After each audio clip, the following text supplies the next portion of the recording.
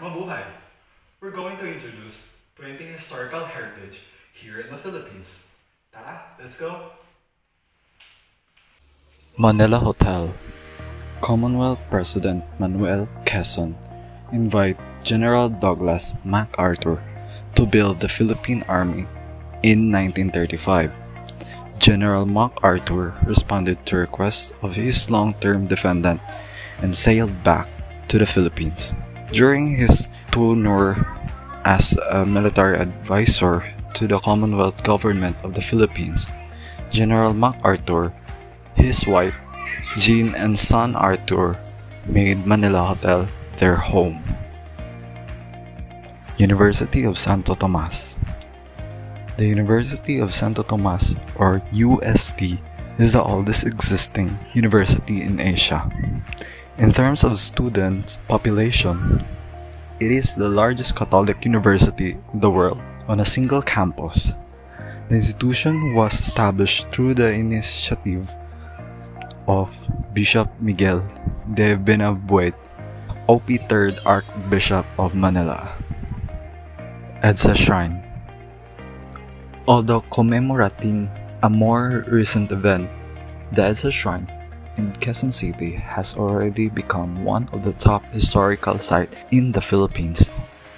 Its original name is the Shrine of Mary, Queen of Peace, Our Lady of EDSA, but it's more commonly known for its short name as it was built to remember the 1986 People Power Revolution that took place in the street of Epifanio de los Santos Avenue in EDSA.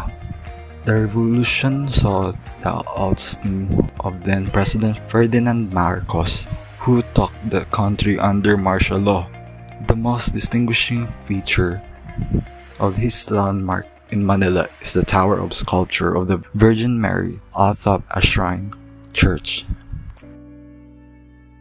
Malacanang Palace Originally built in 1750 to house Spanish aristocrats, the Malacanang Palace has become the official residence and principal workplace of the President of the Philippines since 1935.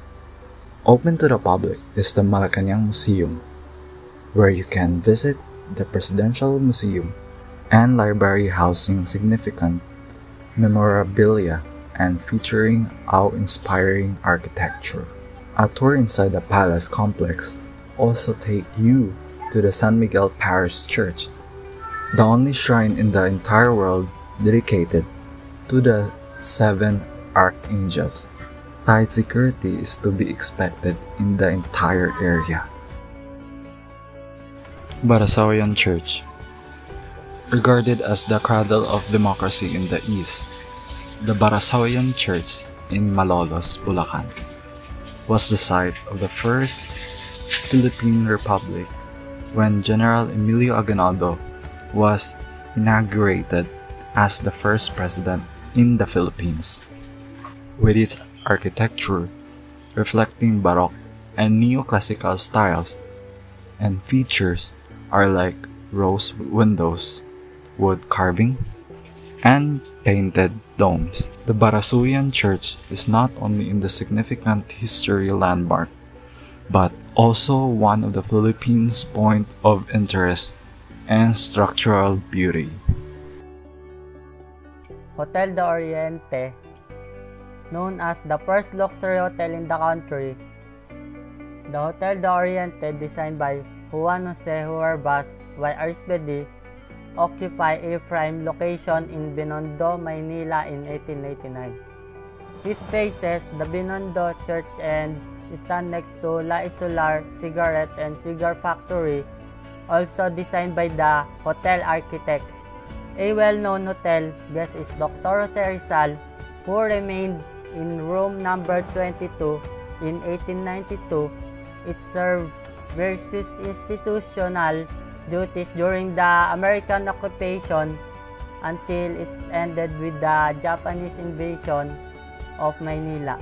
The hotel was revived as a replica of the Las Casas Filipinas des Accuser in Bataan and served as a conference venue for APEC delegates in June 2015. The Intercontinental, holding the distinguishes number 1 Ayala Avenue addressing the Intercontinental Manila, one of the oldest five-star hotel in the country, and only the second Asian branch of the Intercontinental chain when it's opened in 1969 in yet another example of how local luxury hotel seems to attract rebellion attempts. Army troopers made use of the hotel's strategic location to fend off rebels in an attempted coup d'etat in 1989. Sadly, like the Mandarin Oriental, the owner have decided to close aging hotels designed by national artist for architecture Leandro Locsin. The Peninsula Manila The first branch of this distinguished hotel chain outside of Hong Kong, the Manila Peninsula needed no introduction when it's opened in 1967. The Brutalities building designed by Gabriel Promoso has two wings with an iconic fountain up front. The lobby was picturesque with a large selling sculpture by national artist Napoleon Abuena. In 2007, Senator Antonio Trillanes IV and his supporters stormed the hotel and demanded the resignation of then President Gloria Macapagal Arroyo. An armored personnel carrier broke through the lobby doors and window during the siege, which resulted in pricey damage to the hotel and a damage to files by its manager. Luneta Hotel The Luneta Hotel, beautiful French Renaissance architecture and romantic location Vivre a tumultuous past. After the hotel survived heavy bombardment in World War II, it served as a brothel and makeshift ward of the American GIS after the war. The hotel designed by Salvador Farré was, was unable to resign its reputation, falling into despair and closing down in 1987. It was restored and reopened in 2014. Admiral Hotel The Admiral Hotel, designed by Fernando Ocampo, was the place to be for the Manila elite back in its heyday. It's opened as the Admiral Apartment in 1939 with former President Manuel L. Quezon as guest of horror. For a time, it was the tallest building in Manila, even used a landmark by sailor entering Manila Bay like the neighboring Luneta Hotel. It had multiple functions serving as the headquarters for the Japanese and American at different points during the war. The building was sold by its owners, the Lopez Aranetas, to a condominium developer in 2009. It was promptly demolished in 2014 because of the structural integrate issue. It was rebuilt as a boutique hotel managed by the Accor chain, complete in 2017. Rizal Park Rizal Park is a 60-hectare oasis of greenery and blossom set in Manila's busy financial and commercial district. Dedicated to Philippine national hero Dr. Jose Rizal, this urban park has a garden, historical monuments, a 3D map of the Philippines, picnic grounds, a grand stadium, and an open-air concert hall. It's also close to other historical places such as Intramuros and the National Museum. More than a public park, it played a significant role in the history of the Philippines, as it was the site of Rizal execution. Along with 100 other Filipino martyrs, before it was known as the site of Rizal death, it began as barely habitable marshland, then became a hub of the Spanish leisure class. Originally named as Bagong Bayan or the New Village, the park's proximity to some government offices, its accessibility from the new country homes being built in the outskirts of Manila, and the fresh air it brings from the sea as a respite from the tropical heat. That's why it was an ideal spot for the Spanish and Manila elite seeking comforts. The Luneta Park Tagalog draws its name from the word let, meaning crescent shape, structure for defense used in fortifications in the 7th to 18th century. The Luneta Park Tagalog draws its name for the word net, meaning crescent-shaped structure for the defense used in fortifications in the 7th to 18th century. Luneta Park then became the capital's killing field, the place of martyrdom of three secular priests falsely accused of leading an uprising, Mariano Gomez, Jose Burgos, and Jacinto Zamora, and of course, Jose Rizal execution site. Corregidor Island In February 16 to March 2, 1945, the successful recapture by U.S. troops during World War II of Corregidor Island at the entrance of Manila Bay, called the Gibraltar of the East. In the Philippines, which had been surrendered to the Japanese on May 6, 1942, marking the fall of the Philippines, Corregidor is a small rocky island located at the entrance of Manila Bay. It was the once that headquarters of Allied Filipino and American forces who fought against the Japanese during World War II, and a witness to the braveries of the soldiers. While Japanese had occupied lots of places in the Philippines, they avoided Corregidor because of the fear of the huge canyons surrounding the place. Calle Crisologo The list of famous historical landmarks in the Philippines isn't complete without Vigan in it. And among the things that Vigan is well known for the Calle Crisologo, where you can see cobblestone streets, intricate architecture, and horse carriages commonly known as calesa. It's one of the few Hispanic towns surviving in the Philippines and one of the best preserved Spanish colonial towns in the world. Unknown to many, before the name Calle Crisologo Street, it was called Calle Escolta de Vigan. Upon the discovery of the town by Juan de Salcedo in 1572, this street served as the commercial hub in the entire northern Luzon and was established and even before the galleon trade. Calle Crisologo was also called Kasanglayan, place of the Chinese which was the business center of the foreign migratory traders, including Chinese, Spanish, Mexican, Japanese, and other European businessmen. In the late 1890s, the Calle de Escolta de Vigan was renamed to Washington Street during the American rule. On September 1, 1901, the Americans had established a civil government in Ilocos Sur with Donna Mena Crisologo, a delegate to the Malolos Congress, as the first provincial governor. The rice terraces of the Philippine Cordilleras.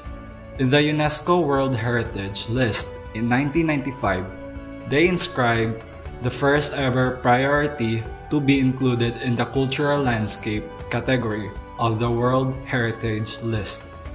This inscription has five sites the Batad Rice Terraces, Bangaan Rice Terraces, Mayoyao Rice Terraces, Hungduan Rice Terraces, and the Nagacadan Rice Terraces, all in Ifugao Province. The Ifugao complex of stone or mud walls and the careful carving of the natural contour of hills and mountains to make terraces pond field coped with the development of intricate irrigation system harvesting water from the forests of the mountain tops and an elaborate farming system. The Ifugao rice terraces illustrate the remarkable ability of human culture to adapt to new social and climate pressures, as well as to implement and develop new ideas and technologies. Zapote Bridge Zapote Bridge is a stone arch pedestrian bridge crossing the Zapote River in the Philippines. It connects the cities of Las Piñas in Metro Manila and Bacoor in the province of Cavite. The bridge and its surrounding area was the site of two battles.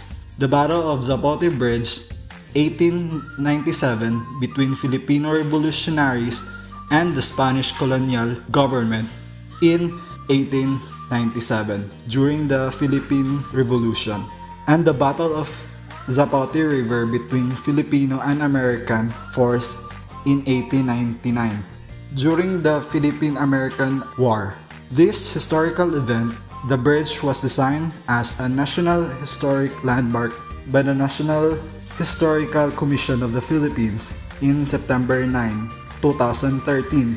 The modern concrete bridge, also named Zapote Bridge, carrying motorized vehicle and part of Aguinaldo Highway was constructed parallel to the original bridge. Leyte Landing Memorial Park The Leyte Landing Memorial Park is a memorial at Palo Leyte, in the Philippines that commemorates the historic landing of General Douglas MacArthur in the Leyte Gulf at the start of campaign to recapture and liberate the Philippines from Japanese occupation on October 20, 1944. This event led to the largest naval battle of World War II and Japanese eventual defeat and surrender after almost three years. The U.S. campaign plan for Leyte was to secure vital territories in order to establish airfields, supply dams, and military facilities that would turn the island into a staging area for operations against the Japanese. The Battle of Leyte Gulf happened three days after MacArthur's landing and was decisive air and sea battle. For the Allied forces, as it weakened the Japanese combined fleet and halted the Japanese ability to move resources from Southeast Asia to their homeland island.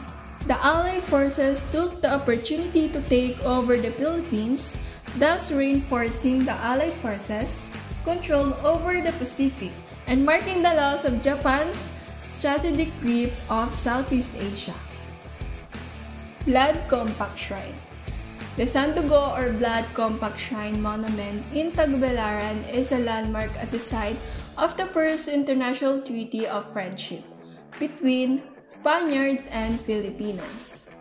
This Bohol tourist spot depicts Takatuna and Legazpi at the famed Sandugo moment.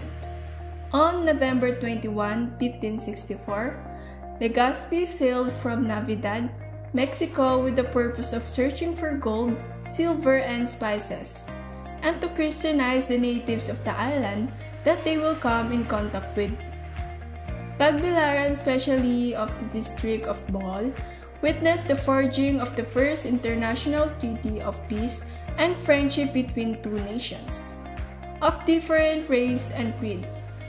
On that fateful day of March 16, 1565, Captain General Miguel Lopez de Legazpi of the Spanish expedition of Dato Sikatuna, a native chieftain of Bohol, sealed their friendship in a native ritual, the Blood Compact.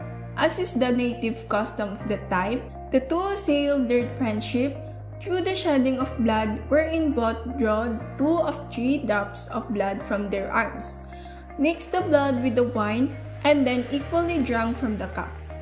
Other historians say that blood wine mixture was divided equally between the two and they both drank the contents of the last drop. Eskaya Eskaya, less commonly known as the Visayan Eskaya, is the collective name from the member of cultural minority found in Bohol, Philippines. Distinguished by its cultural heritage, particularly in literature, language, dress, religion, observance. The Eskaya script thought has both alphabetic and syllabic components. A basic alphabet of 46 characters. The location of this site is on the top of Duero Bohol, particularly near the border of Sierra Bullones. Loboc Church The San Pedro Apostol Parish Church, commonly known as Loboc Church, is a Roman Catholic church in the municipality of Loboc, Bohol, Philippines. Within the jurisdiction of the Roman Catholic Diocese of Tagbilaran, after the Jesuits established the Christian community in Baclayon, they moved the Loboc and established a second Christian settlement in Bohol.